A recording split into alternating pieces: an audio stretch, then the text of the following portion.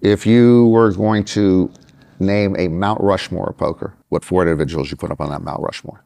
My Mount Rushmore is different than most other players because I don't think there needs to be that many players up there. It needs to be like you know Benny Binion needs to be up there. Uh, Henry Orenstein, who created the hole card camera. Um, Doyle Brunson would be the only player I would put up there. I think he revolutionized the game. And the last one, you know, you could put any number of people up there, but you know, someone like Isai Scheinberg who brought online poker in, in, out into the masses. But you know, I, I wouldn't be putting you know myself or Hellmuth or Daniel or any any other really poker players out there. I wouldn't even put Stu, even you know, even though he was a phenomenal player and just amazing. Um, Chip Reese, you know, there, there's so many players out there that have impacted this game, but it's people like Benny Binion and those guys that gave us the opportunity to play.